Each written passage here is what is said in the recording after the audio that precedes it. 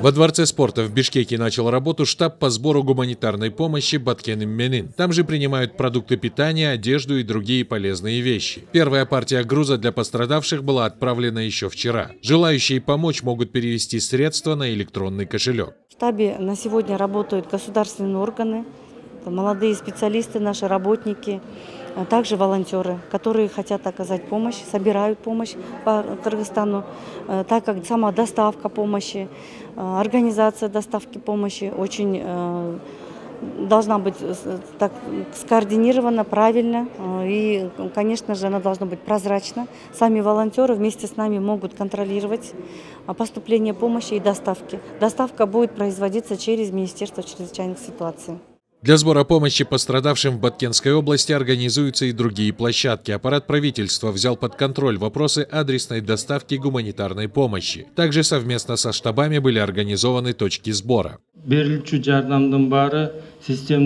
Мы собираем информацию о продуктах первой необходимости. Сейчас есть острая потребность в молочном питании и подгузниках. Я думаю, мы совместно сможем оказать необходимую помощь и четко выстроить нашу с вами работу.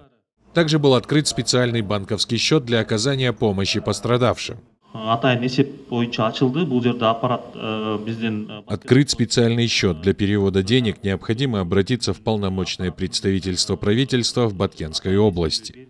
Бизнесмены, в свою очередь, тоже готовы оказать помощь пострадавшим в результате событий на кыргызско-таджикской границе. Правительством сформирован список необходимых продуктов и вещей и передан предпринимателям.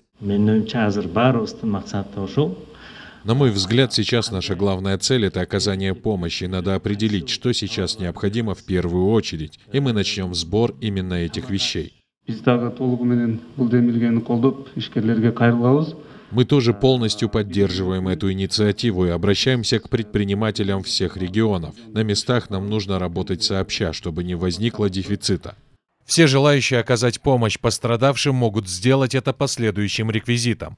В городе Ош ИНН 00 50 82 00 21 01 09 44 07 01 12 13 00 16 74 14 41 11 00. По Баткенской области ИНН 01 31 21 99 91 00 86 44 09 02 11 03 00 50 73 и 14 41 11 00. При поддержке правительства был создан штаб «Помощь Баткену». Контактные телефоны штаба 0558 98 88 88 0705 15 13 00.